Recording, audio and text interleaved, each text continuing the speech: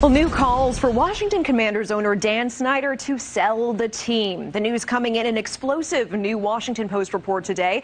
Now NFL owners are saying he has to go. It is the latest setback in a long list for the Washington Commanders owner.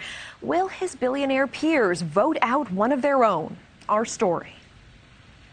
Thank you so much for joining us today. Dan Snyder bought the Washington Commanders, then known as the Redskins, back in 1999, and his name has been covered in controversy ever since. Now, a new bombshell report by the Washington Post, the latest in his ongoing saga. Several NFL team owners speaking anonymously want him out, saying, quote, he needs to sell. Some of us need to go to him and tell him he needs to sell.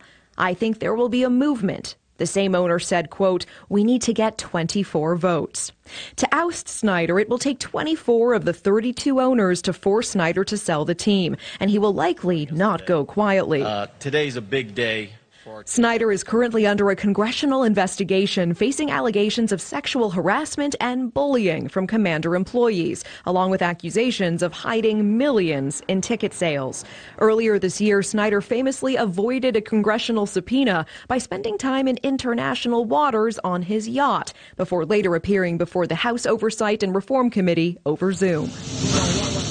Last year, the 57 year old was fined $10 million by the NFL after he settled a lawsuit from a former commander's cheerleader. She accused Snyder of sexually assaulting her. Instead of suspending him, Snyder's wife, Tanya, was named CEO of the team and took over his day to day responsibilities. The next NFL owners' meeting is set for mid October.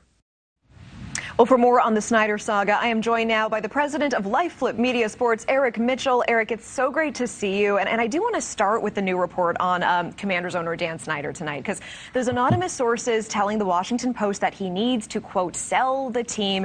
Eric, this is not the first time Snyder has found himself in hot water. Will this new drama finally put him in a position where he is forced to sell the team?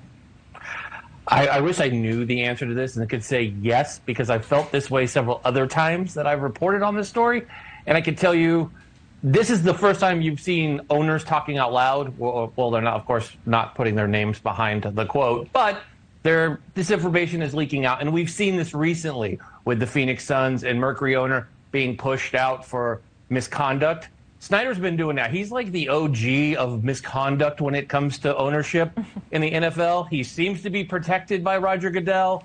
Remember, this is the same organization behind Jon Gruden's firing that's turning into a ugly mess in a courtroom because Gruden was the only one out of 650,000 emails that they found anything negative on. And I'm sure the viewers at home will agree with me. That's hard to believe. The OG of misconduct. What a what a moniker. What a name. So you know it would take 24 of the 32 owners, really a 31, not counting Snyder, to force Snyder to sell that team. What are the chances that the owners will turn on one of their own in Snyder?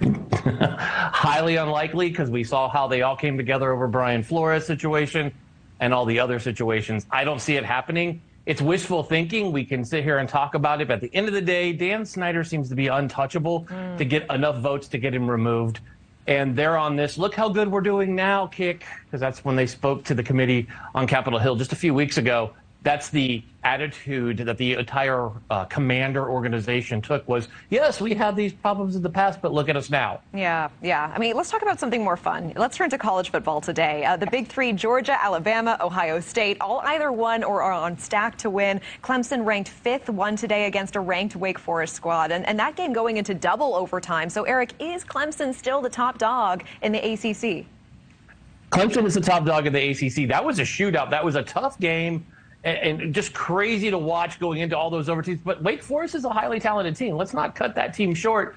But these other games with Texas Tech upsetting uh, Texas down in Lubbock, that was a crazy game that came down to a field goal kick in overtime. They rushed the field. And then you saw Oregon barely squeak out a win against an unranked but undefeated Washington State team. And let's not count out the Tennessee t- Volunteers. They did beat the Gators in Tennessee in a game that a lot of people are saying Gators. Yeah, uh, I, I, do want to talk NFL for a moment, uh, if we have a second. The GOAT, sure. the GOAT, Tom Brady, says that he will play tomorrow against Green Bay despite that finger injury. Um, also, the undefeated Miami Dolphins taking on Patrick Mahomes, Kansas City Chiefs. Which, you know, which games are you most are you most looking forward to right now, Eric? Well, I, I, would be lying if I said I wasn't looking forward to the Brady versus Aaron Rodgers matchup tomorrow. Mm-hmm. Both teams are hurting at wide receiver. Lots of new players will be on the field, so it'll be interesting. The two old guys going at each other. It'll be a good battle. Aaron has a chip on his shoulder. The Bears, of course, uh, they need to get back on track after embarrassing themselves against Mr. Rodgers last Sunday night. And the two big games that I'm tracking, uh, I love this Dolphins game uh, going on down there.